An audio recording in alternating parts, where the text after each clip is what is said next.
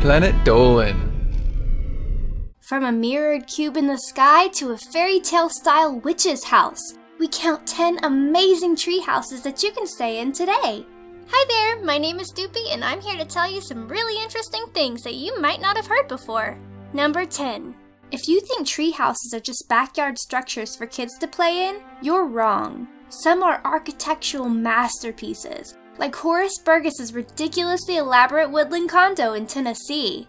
This thing is 97 feet tall and needed six trees for its base. It took over 14 years to build, and the man responsible, Minister Horace Burgess, said the idea came about after a vision from God. But this impressive structure isn't just a tourist attraction. It's also a church and, strangely enough, a basketball court. It's unofficially the largest treehouse in the world, but was unfortunately closed to the public in 2012 due to tough new fire safety codes. Number 9. Want to take your paranoia to the next level? Consider staying at Mirror Cube, the cube-shaped treehouse hotel that is completely covered in mirrors. It's practically invisible from most angles, making it great for anyone who wants a steamy secret affair, but not so great for the birds that often fly into it. The Mirror Cube is found outside the city in Sweden's Norrbotten County. To solve their bird suicide crisis, the Scandinavian architect Stålman Videgård covered the outside walls with an infrared film. This means birds can see and avoid the structure, but we don't have to look at any ugly arse film because our vision is too terribly inferior. Birds get to live, and we don't have to look at an eyesore. Everyone wins! Number 8. Want to escape the tedium of everyday life? Maybe you fancy living up there with the birds? This birdhouse inspired structure could be just what you're looking for. Found in the quiet forest of Japan's Nagano Prefecture, this quirky treehouse allows humans and birds to live side by side. It has 78 nesting spaces for birds, and a glass wall dividing its interior so birdwatchers can creepily study their feathered friends as they come and go. This treehouse was originally designed for the Momofuku Ando Center to promote nature awareness. But these days, you know, it's just full of Pokemon Go players trying to catch Articuno. Number 7. Want to spend all your time in a treehouse but don't want to give up the luxuries like fine dining? New Zealand's Redwoods Treehouse restaurant has you covered. This pod-shaped treehouse sits 10 meters above the ground, so put chalk on those hands and get ready for a serious climb. Or you could just use the ramp. Redwoods can comfortably seat 30 people at one time, but it's not available for casual dining. That's right, this restaurant in the trees can only be booked for intimate weddings, corporate events, and out-of-control bachelorette parties. Still, after dining up there in paradise, eating on the boring ground will never be the same. Number 6. No, this witch's house isn't Tim Burton's holiday home. It's a privately owned treehouse in Ibiza. Built by a father for his fairy tale loving son, this quirky treehouse has rustic furnishings, round portal windows, and was built in an Aleppo pine tree. It's cool and everything, but you just know all sorts of shady shit goes on in there during a full moon. I bet it goes off on Halloween. Number 5. Looking like a marriage between Hans Christian Andersen and Studio Ghibli, the Tetsu Treehouse is a charming fantasy-themed treehouse in the Japanese city of Hokuto. It was designed for the Kiyoharu Shirakaba Museum by architect Terunobu Fujimori. The Tetsu treehouse is built upon an old cypress tree trunk and is completely surrounded by stunning purple and pink cherry blossoms.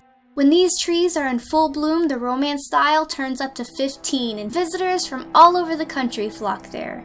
Number 4. These spherical hotels in Canada look like they're from the set of a dystopian movie. Remember the one where humans destroyed the Earth's surface and have to live in pods suspended from trees? No? Maybe that's just a dream I had. Anyway, these marvels of engineering are called free spirit spheres. These handcrafted spheres come in three different sizes and are accessible by a spiral staircase and a suspension bridge. They don't offer a lot of room to move around. In fact, they've been compared to the cabin of a ship, but they're perfect for those who want to get out there and live amongst nature. Number 3. After retiring at 26, software developer Joel Allen found an unusual way to pass the time. He took up carpentry and fulfilled his dream of building something cool. The result was the Hemloft Treehouse, a self-funded treehouse hideaway in Whistler, Canada. This egg-shaped beauty was primarily built using free material sourced from helpful weirdos on Craigslist.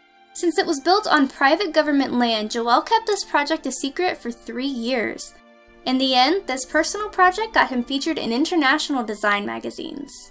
Number 2. Ever wanted to sleep in a bird's nest but were afraid Mama Bird would peck your eyes out? This peculiar Swedish tree hotel allows you to live out your wildest avian fantasies. But no defecating on the floor. Use the bathroom, you animal. As you can see, the exterior is basically a giant bird's nest that camouflages with its surroundings, but inside it's a classic timber-style luxury hotel suitable for a family of four. How do you reach the bird's nest hotel? Well, if flapping your arms doesn't work, you can always try the retractable staircase. Or you could always ask Melissa for a lift. Number 1. Got some weird alien abduction fantasies you want to live out?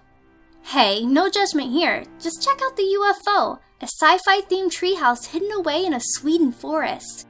This out-of-this-world hotel room hovers 6 meters off the ground and is shaped like a giant metal UFO.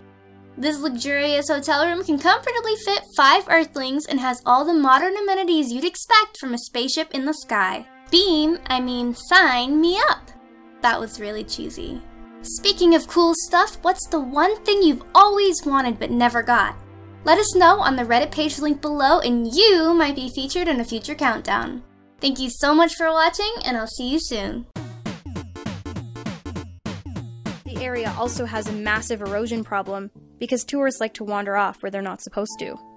To remedy this, the Peruvian government has limited the number of visitors to just 2,500 a day. Come on, guys, I know they're called ruins, but that doesn't mean you have to ruin them. This is why we can't have nice things.